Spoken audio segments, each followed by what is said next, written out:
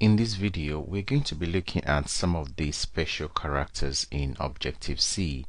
There are so many of them, but I just want to touch on a few that I know you might find useful in your program because it might give you an headache if you want to, for example, put a quote, uh, a double quote on a word and um, you do not know how to do that. So uh, the first one we'll be looking at is the new line uh, sequence. So this is the new line special character.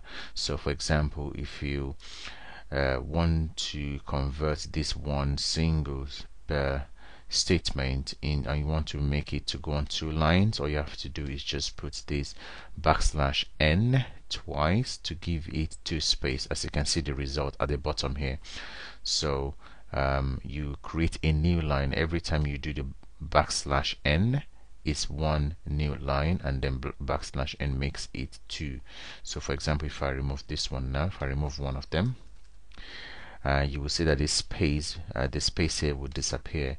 So let's run the program to confirm that it's actually true. As you can see that line is uh, disappear. And if I put another backslash n another backslash n now we'll create uh, three new lines. As you can see we now we have two more here. So this is how you create a new line in uh, objective C.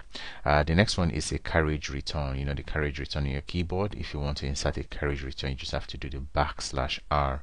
So and this is the uh, result here as well. So that's the result on this. One second. Yeah on this line this is the result.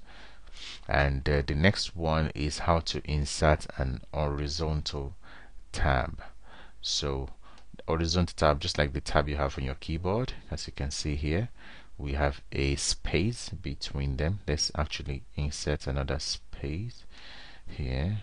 So where's the backslash t and run the program? You will see we create a new space. So this is like pressing the tab key on your keypad. So this is how you insert a tab. Just use the backslash key but if you want to display a backslash itself because we use a back a backslash and escape uh, escape uh, uh, sequence. So what you do if you want to display the backslash itself, then you have to type two backslash, and this is what happened here. When you type two backslash, you actually get one because one is an escape uh, sequence. So when you press this, yeah, when you run the program, you see that we get one backslash, and the same thing to um, display a quote.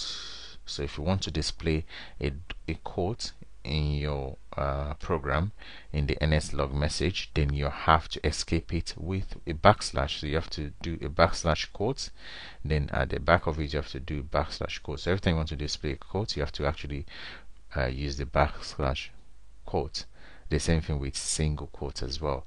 So these are just um, some of the ones that you can use but there are so many of them and uh, you can find them on in, in inside the apple documentation. Uh, there will be some time where you find this useful.